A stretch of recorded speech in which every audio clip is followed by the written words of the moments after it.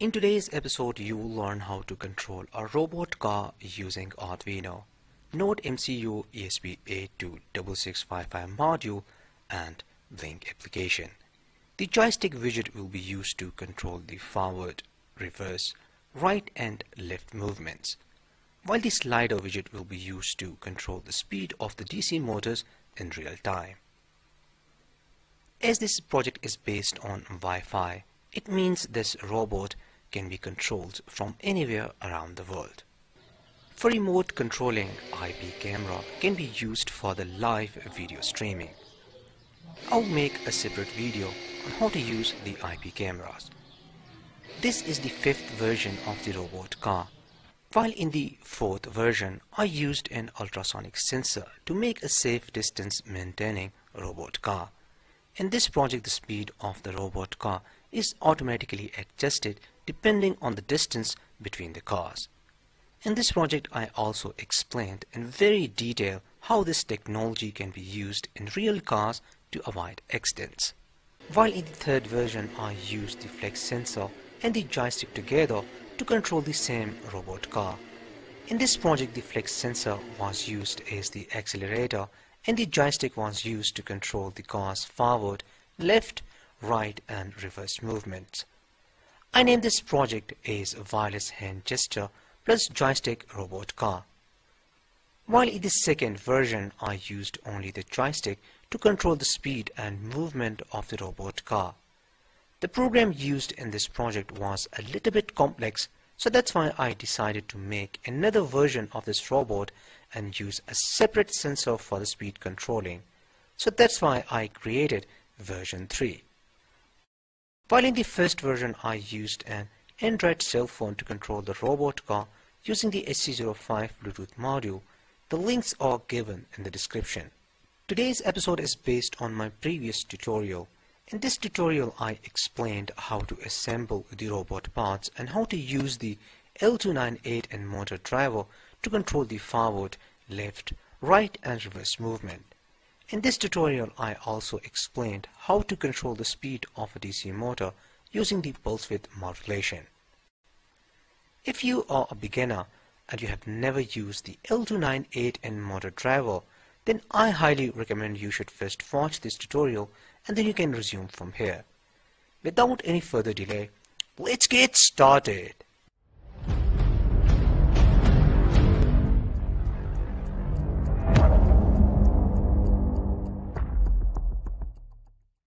The components used in this project can be purchased from Amazon. The components purchase links are given in the description. All the connections are exactly the same as explained in the L298N motor driver getting started tutorial. The link is given in the description. The only modification is the addition of the Node MCU ESP826655 module. The Node MCU TX pin is connected with the Arduino's pin number 2 and the Node MCU RX pin is connected with the Arduino's pin number 3, while the Node MCU ground pin is connected with the Arduino's ground. For the demonstration purposes, I will power up the Node MCU module using my laptop. Now let's make an application for the cell phone using Blynk. First of all, open the Blynk application. Click on the new project and set the project name is IoT Robot. If you want, you can set any other name. Click on the Choose Device and select Node MCU.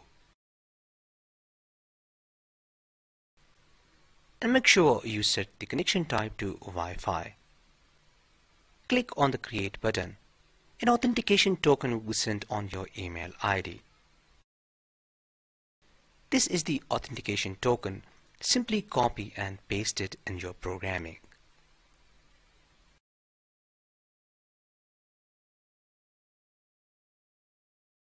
Click on the screen and search for the joystick widget and edit.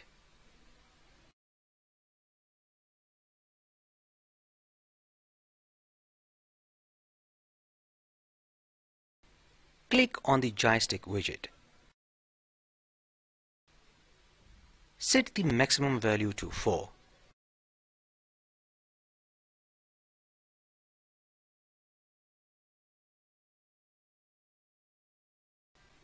Select virtual pins V10 and V11.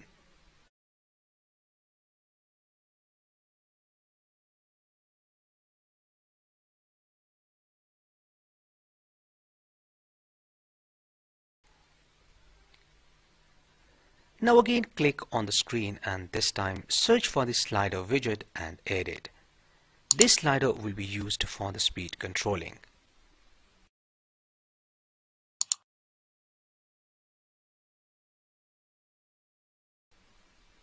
Click on the slider and select the virtual pin V12.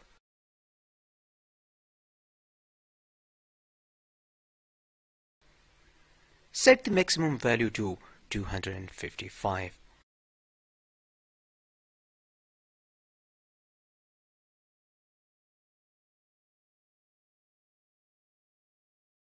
So that's it, our application is ready and now let's discuss the programming. This project is based on two programs. This program is written for the Arduino while this program is written for the Node MCU ESP8266 Wi-Fi module.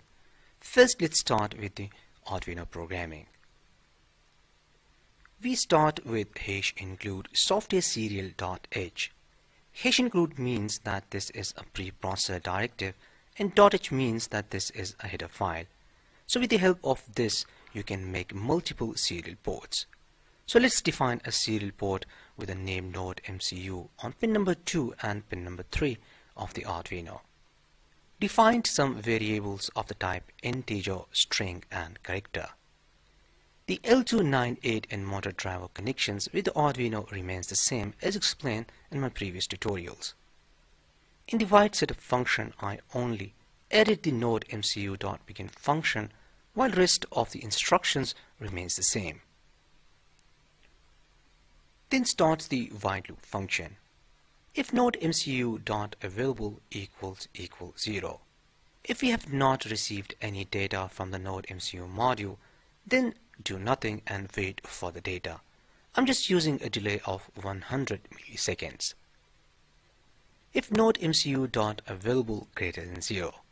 If the Arduino has received data from the node MCU module, then simply read the node MCU module.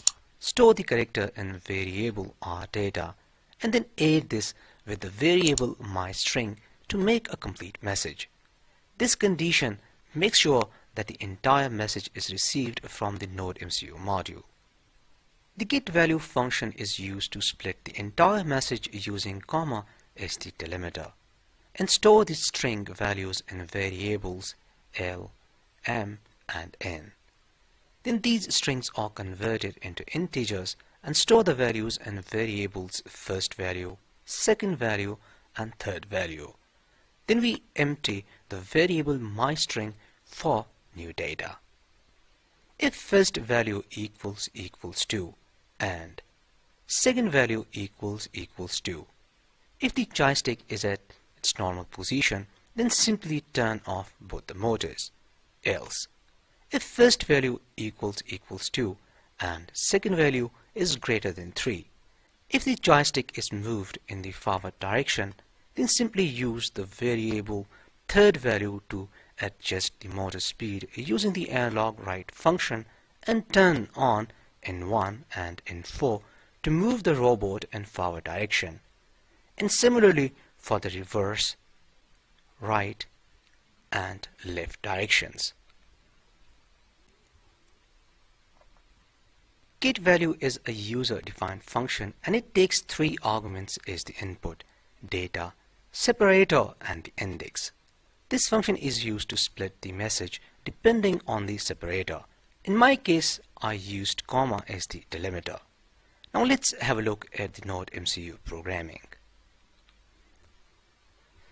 Before you start the programming, first of all, make sure that you download all the necessary libraries and you install Node MCU board and you also install a driver for the USB UART. I have a separate video on this. The link is given in the description.